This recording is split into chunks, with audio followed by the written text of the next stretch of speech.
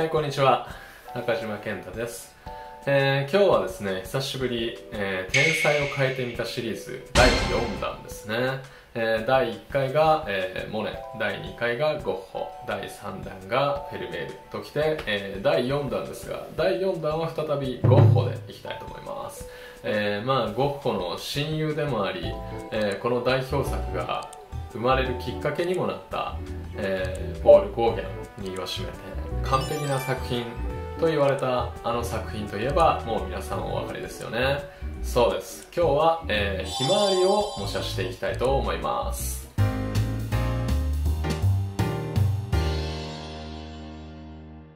まずは、えー、このキャンバスはですね F の20号ですね、えー、実際のサイズっていうのはこれよりももう一回りぐらい大きい F30 号ぐらいのえー、97センチ ×70 センチぐらいのものに書かれています。本物のサイズで書くとねかなり大きいんですよこれ。それをね、えー、同じくらいのサイズのものを3点ぐらいゴッホはね書いててそれは全てあのゴーギャンをねその自分の家に、えー、招くにあたり、え、自分の部屋を飾るために書いたっていう、まあ、本当に大きい作品なので30号って言ったら家にかけるとねかなりの存在感なんですよ。だからまあある意味どれだけゴッホがそのゴーギャンがこう黄色い家と呼ばれるそのゴッホが作った、えー、絵画コロニーっていうんですかね。アルルで、えー、画家が集える場所を作りたいって言って、えー、作ったのが黄色い家。そこに賛同してくれたのが、まあ、唯一ゴーギャンだったわけですがそのゴーギャンがえ来るにあたって、えー、書くことにしたのがこの「ひまわり」という作品なんですね。まずは、えー、下書きを転写してます。それから、まあえーと、線入れをねこれから今からしていくんですが、えーと、ジェルメディウムとバーントシェンナーを混ぜたものを、えー、ローラーで塗ってますね。これ今パネルに書いてるんですが、まあ、ちょっとパネルのままだとツルツルしてしまうので、えー、バーントシェンナとジェルメディウムを混ぜたものをローラーでかけることで少しこう画面がざらついていますまあねゴッホはなんか形の正確さよりもむしろ何ていうかこう色彩の大胆さとあの絵の具をねどれだけこうしっかりのせることができるかっていうのがまあ非常に重要なのでそこをねあの変にこう形にとらわれすぎず、えー、大胆にやっていければいいかなと思います。というわけで、えー、しばし、えー、淡々と の下辺のね線入れにお付き合いいただければと思います。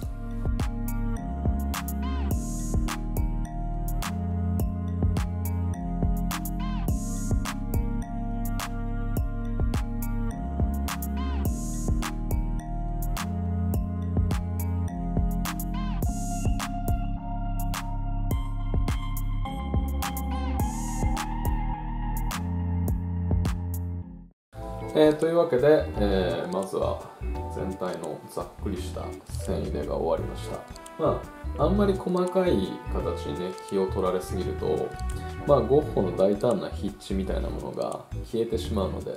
まああの今回の模写に関してはなるべくこう何て言うんですかねそのゴッホの持っている作品のエネルギーみたいなものをどこまであのしっかり表現できるかっていうことに重きを置いていきたいと思います、えー、まあ全部ね油絵で描ければそれはそれでいいんですが、えーと、どうしてもその油絵の具を厚塗りするとですね非常にその乾燥までに長い時間がかかってしまうんですね。ゴッホぐらいの厚塗り。ひまわりなんかはかなりその何て言うんですかね。色面で言えば非常にその単純なんですが乗っている絵の具のタッチが非常に複雑でボリューミーなんですね。あのそこをやっぱりこう表現するっていうのがこの模写を成功させるための秘訣だと思うので、まあ、今回に関しては、えーと、この、えーと、アクリル画材ですね。モデリングペーストっていうものとジェルメディウムを少し混ぜてあります。モデリングペーストってこうやって見るとかなりこう何ですかねボリューミーですよね。これがですねこのまま乾燥して、えー、画面を盛り上げてくれるんですね。なのでかなりこう物質的にあのデコボコするのでそれをねあのうまく使っていきたいなと思うんですがまあとこの段階でもう色もつけていっちゃいます、えーと、今パレットに出てるのが、えー、この3色ですね、えー、アクリル絵の具のバーントシェンナーハンザイエローオペークってなんだ？えー、ハンザイエローオペークっていう色だそうです。まあ、あんまり名前は僕よくわかんないけど。で、これが、えー、グリーンゴールド。えっ、ー、と、必ずしもこれじゃなきゃいけないってことはないんですけど、まあ僕は今回に関しては感覚で選んでます。だから、まあ、えー、黄色、緑、茶色っていうふうに、まあ、えー、思っていただければ間違いないですね。この緑はちょっと、まあ、僕が油絵の具で使う時は、まあ、テールベルトとかって言ったりする色ですねとりあえずこの3色と,、えーと、この、えー、アクリル画材の、えー、モデリングペーストハイソリッドというものを使って油絵の具のような質感で、えー、盛り上げながら描いていきたいと思いますというわけでこのモデリングペースにねザクザク混ぜると結構ねしっかり色をつくので早速ひまわりのね部分をね盛り上げながらまあ僕は本当にねこう一筆一筆あの力強くね絵の具を刻んでいってますよね。大体その僕のような描き方だとあの花を描く時とかまあ、花瓶を描く時とか大体そのグラデーションにするためにこうぼかすことをしてしまうんですがゴッホはあまりその画面上でこう絵の具を混ぜないんですよね。あのグラデーションを作ることなく、まあ、発色をね非常にその鮮やかに、えー、使い切ってるっていうのが特徴ですよね、まあえー、この、えー、ゴーギャンを迎えるために描かれたゴッホのひまわりですがこの15本のバージョンは実は3点存在するんですね。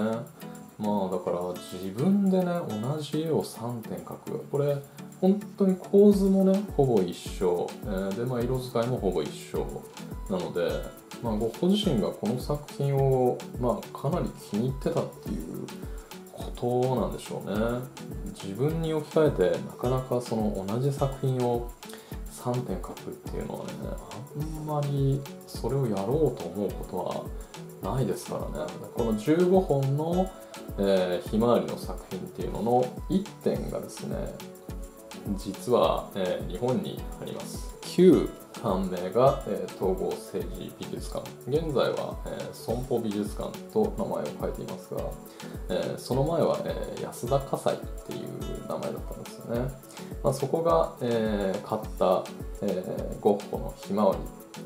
えー、当時53億円で、えー、落札され、まあ、史上最高額。えー、かつての、えー、オークションレコードの中では最も高かったと言われてるんですね。53億円で落札された、えー、そのひまわりがですねなんとですね贋作疑惑がかけられたことがあったんですね。まあその非常にその構図も似通っていて、えー、一見するとなぜその安田火災が買った当時53億円の、えー、ゴッホのひまわりだけがその贋作疑惑をかけられたのか。これはですね、えー、まあさっきから言ってるこの作品のサイズですね。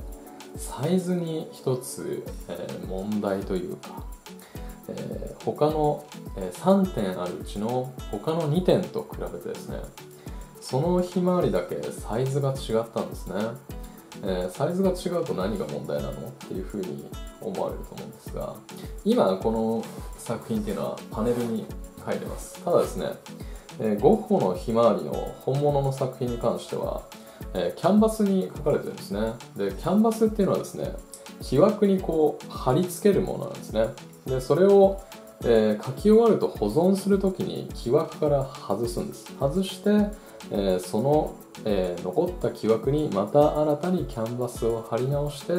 えー、また新しい作品を描くっていうようなことが、えー、まあ、特に、えー、ゴッホのようにその新しいキャンバスを、え木枠ごと買う、え経済的余裕がなかった、えあるいはそのたくさん枚数を書くような人は基本的にはその木枠から、えキャンバスを外してそれをこうぐるぐるぐるぐるって巻いて保存する人が非常に多いんですね。単純にあの木枠のまま保存してしまうと重ねていくと結構かさばるのであのやっぱりそのゴッホ結構制作枚数も多いですし、まあ、当時のその経済的な環境とかっていうのを考えると、まあ、おそらく同じ木枠をたびたび使い回していたのではないかっていうことは、まあ、確かにそうなんだろうなっていうことが、まあ、想像がつくんですね。3点あるうちの、えー、2点に関しては、えー、大体その90センチ ×70 センチぐらいだったのに対して安田火災が落札したゴッホのひまわりに関しては、えー、100センチ ×80 センチぐらいまあ一回り大きかったんですね。まあ当時同じ木枠を使い回して描いていたであろうゴッホがなぜこの作品だけ、えー、大きいサイズで描いたのか。まあそれがですね、えー、贋作なのではとえー、疑われるその根拠の一つになったようですね。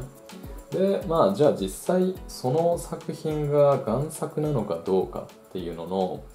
えー、心眼鑑定っていうのができるのかっていうとまあ相当に難しいでしょうねその同時代に書かれたものであれば実際のところの心眼鑑定っていうのはほとんど不可能にあの等しいのではないでしょうか。あの当時使われてた絵の具を相当精密に分析するなんてことがまあやられれば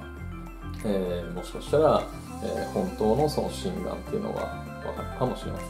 ただまあ、えーと、マーケットの都合から考えると、えー、この、えー、53億円で取引されたゴッホのひまわりっていうのが、えー、今後その贋作であると認定される可能性っていうのはまあ非常に少ないですよね、えー、それをまあ売ってしまった、えー、オークション会社の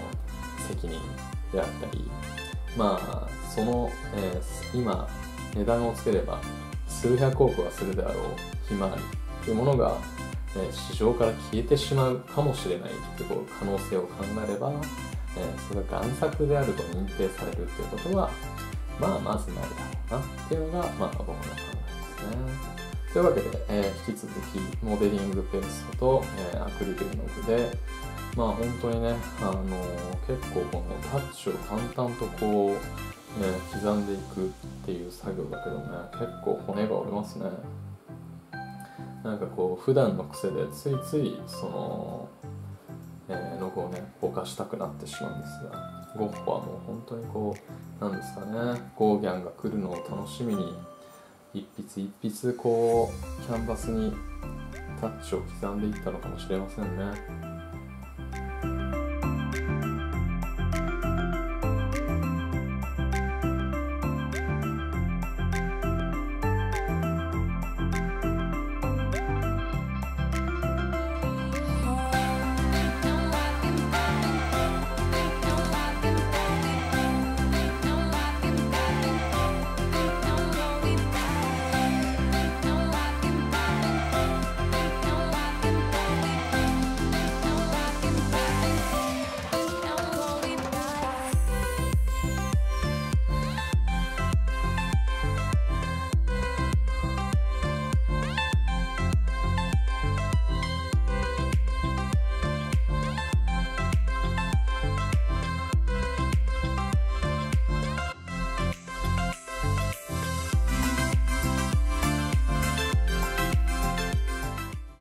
感じになっております。全体的にアクリル絵の具で手が入った状態ですね。だいたい1日ぐらい描いてましたかね。よると結構エンボスがあります。よってねこうちょっと横から見ると凸凹が分かりますかね。かなりしっかりとエンボスがあります。やっぱりゴッホのね作品は油絵の具がしっかり乗っているっていうのが魅力なのでここからできるだけねしっかり油絵の具を乗せてさらに、えー、ゴッホの絵が持つボリューム感ある魅力に迫っていくことができればと考えています。え、最終的に、えー、アクリルのパレットはこんな風になりました。使ったのは、えー、黄色2色、えー、緑2色。で、え、茶色が2色です。えっと1個だけ違うけど基本的にはこのゴールデンの、えー、アクリル絵の具を使いました。結構ねその練りが柔らかくて、あの、使いやすいですね僕にとっては。あとは白ですね。あの背景の、えー、この黄色い部分に少し白を混ぜて描いています。え、ここから油絵で描いていきたいと思います、えー、アクリルでのパレットはこんな感じです。はいというわけで、えー、パレットに油絵の具を出しました。これだけでも結構なんかこうひまわりっぽくないですか？ひまわりっぽいとおかしいな。